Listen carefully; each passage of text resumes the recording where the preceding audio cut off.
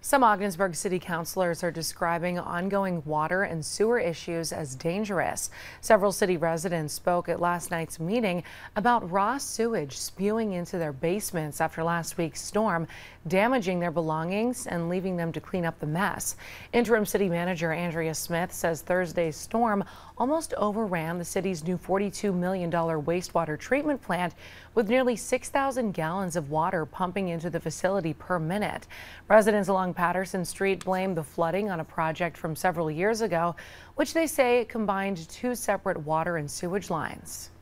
It's not sanitary, it's not healthy, you know, people living in the house, and there's feces and toilet paper and all that down on my floor, that after I suck all the water up, I got suck that up and throw it out. We need action, we need action now, uh, not just for the homeowners, but for the entire city.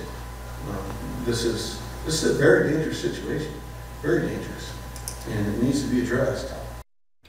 Council says it will look into solutions and reach out to the State Department of Health before the next meeting.